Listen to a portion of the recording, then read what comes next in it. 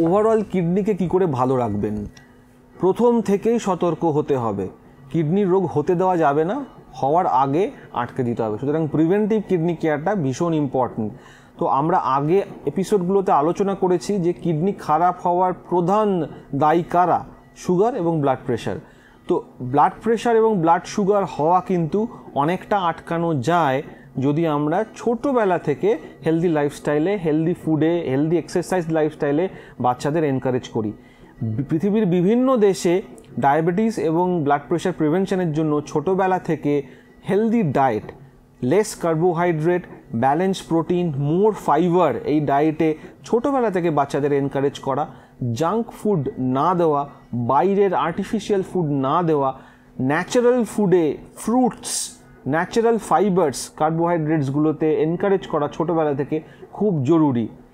এই হ্যাবিটগুলো ছোটোবেলা থেকে করলে এগুলো শরীরের মানুষের হ্যাবিটের মধ্যে, খাওয়ার হ্যাবিটের মধ্যে একদম গেঁথে বসে যায় যে বাইরের খাবারের থেকে হেলদি বাড়ির খাবার খাওয়া এবং ডেইলি প্রতিদিন কিছু না কিছু এক্সারসাইজ করা ওয়েট কন্ট্রোলে রাখা, এগুলো কিন্তু ভীষণভাবে হেল্প করে ডায়াবেটিস হাইপারটেনশন এবং অ্যাসোসিয়েটেড কিডনি ডিজিজটাকে প্রিভেন্ট করা। যার কিডনি ডিজিজ ধরা পড়ে গেল, হয় ডায়াবেটিস বা ব্লাড প্রেশারের জন্য, অথবা যাতে আমাদের লাইফস্টাইলের কোনো হাত নেই, যেমন একটা নেফ্রাইটিস হলো, বা একটা পলিসিস্টিক কিডনি ডিজিজ হলো, বা অজ্ঞানতাবশত আমি একটা ব্যথার ওষুধ খেয়ে ফেলেছি, তার জন্য কিডনি খারাপ হলো। সেক্ষেত্রেও কিডনি খারাপের আমরা ক্রনিক কিডনি ডিজিজে আগেই বলেছি স্টেজ ওয়ান থেকে স্টেজ ফাইভে এই যে জার্নিটা প্রোগ্রেশনটা এটাকে কিন্তু স্লো করে দেওয়া যায়। সেই স্লো করে দেওয়ার জন্য যেমন ব্লাড প্রেশার কন্ট্রোল যেমন ডায়েটে ডায়েটে আমরা একটা লিমিটেড অ্যামাউন্ট অফ প্রোটিন খেতে বলি। খুব এক্সেসিভ প্রোটিন খেলে কিন্তু ক্রিয়েটিনিনটা তাড়াতাড়ি বলে। তার বলে কি একেবারে প্রোটিন খাব না? না, একটা লিমিটেড অ্যামাউন্ট অফ প্রোটিন সেটা আপনার ডায়েটিশিয়ান আপনার ডাক্তারবাবু প্রত্যেকজন পেশেন্টের ডায়েট ওয়েট এবং তার বডি স্ট্রাকচার অনুযায়ী ফিক্স করে দেবেন। সেই প্রোটিনটা খাওয়া লিমিটেড অ্যামাউন্ট অফ প্রোটিন খাওয়া। হেলদি ডায়েট আবার যেরকম বলছি moderate amount of carbohydrate fat কম, যাতে ফাইবার বেশি, সে ধরনের খাবার খাওয়া। কিডনি ডিজিজের ক্ষেত্রে কতগুলো জিনিস ডায়েটে শরীরে জমে যায়, যেমন পটাশিয়াম এবং ফসফরাস তো ডায়েটে এমন কিছু না নেওয়া, যাতে পটাশিয়াম বেড়ে যায় তাতে হার্টের প্রবলেম হতে পারে এবং ডায়েটে এমন কিছু না নেওয়া যাতে ফসফরাস বেড়ে যায়, সেগুলোতে ডায়েটের প্রবলেম হার্টের প্রবলেম হতে পারে ভ্যাসকুলেচারের প্রবলেম হতে পারে ব্রেনের প্রবলেম হতে পারে। তো আমরা জানি মোটামুটি সিট্রাস ফ্রুটগুলোতে বেশিরভাগ ডালে গ্রিন লিফি ভেজিটেবলস এইগুলোতে পটাশিয়াম হাই থাকে। গুড়ের জিনিস জ্যাগারি আমাদের দেশে আমরা অনেক গুড় খাই গ্রামের দেশে এবং সিজনালি আমরা, আমাদের অনেক পেশেন্ট নলেন গুড়ের সন্দেশ খেয়ে পটাশিয়াম বাড়িয়ে আসেন। সুতরাং গুড়ের জিনিসটাকে এই কিডনি পেশেন্টদের জন্য অ্যাভয়েড করা, এগুলো কিন্তু পটাশিয়ামটাকে কম রাখতে সাহায্য করে।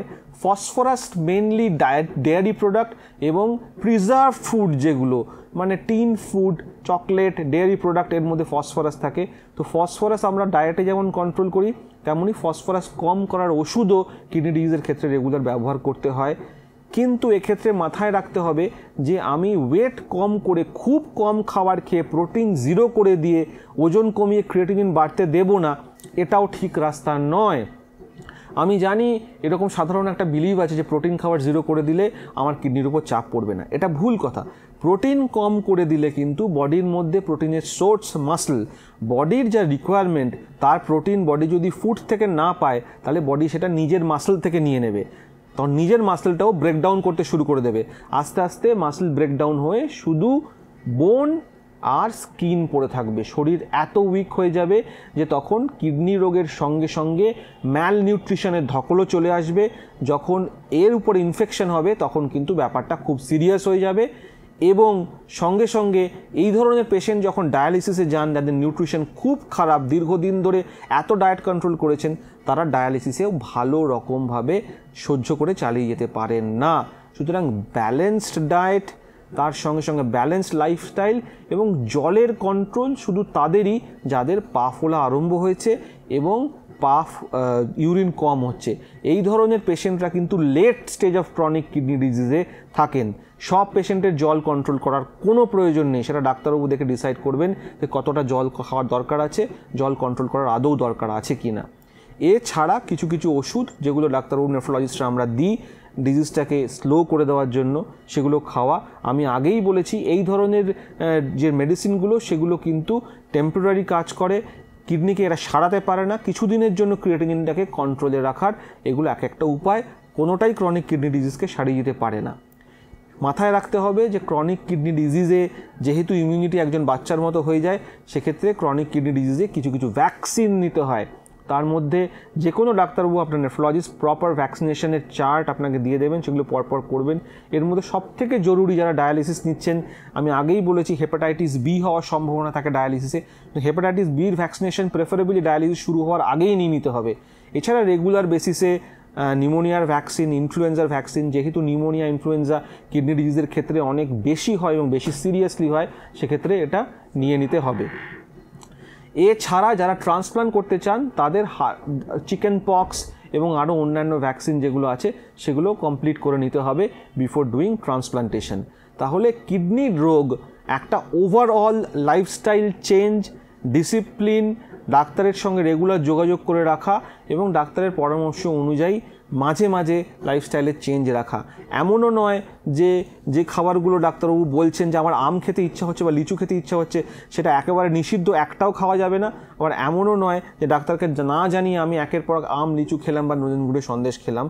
পুরোটাই আপনার হেলথ টিম বা ডক্টরের সঙ্গে কোঅর্ডিনেট করে নিজের ইচ্ছাটা জানিয়ে নিজের ডিসিপ্লিনটা মেনটেন করে নিজের ইচ্ছাগুলো সম্পূর্ণ করতে হবে এবং হেলদি থাকতে হবে। এর সঙ্গে আরও বলে রাখি যে বয়স বাড়ার সঙ্গে সঙ্গে ডায়াবেটিস ব্লাড প্রেশার হওয়ার সম্ভাবনা তো বাড়েই। সুতরাং যখনই আপনি থার্টি ফাইভ রিচ করে যাচ্ছেন, তখন থেকেই আপনি হেলথ চেক আপ করা শুরু করুন। Routine health check up health check আপে regularly diabetes blood sugar blood pressure এবং কিডনির রোগ ধরা পড়ে। আর্লি স্টেজে ধরা পড়লে তার সেটা কম থাকার এবং কম হয়ে যাওয়ার সম্ভাবনাও থাকে। এছাড়াও মনে রাখতে হবে যে রেগুলার আপনাকে এক্সারসাইজ করতে হবে রেগুলার এক্সারসাইজের মধ্যে আপনাকে ঠিক রাখতে হবে। এবং কারুর যদি এরকম কোনো সিমটম দেখা যায় যে ব্লাড প্রেশার আগের মতো কন্ট্রোল হচ্ছে না, আস্তে আস্তে রক্ত কমে যাচ্ছে, শরীরে উইকনেস দেখা দিচ্ছে, যেটার কোনো কারণ খুঁজে পাওয়া যাচ্ছে না, খাওয়ার প্রতি অনীহা আসছে, হাতে পা ফুলে যাচ্ছে এবং হাত পায়ের ফোলার সঙ্গে সঙ্গে চোখের তলা ফুলে যাচ্ছে, শ্বাসকষ্ট বা ইউরিন কম হচ্ছে এসব ক্ষেত্রে দেরি না করে কিন্তু আপনার ডাক্তারবাবুর সঙ্গে যোগাযোগ করুন।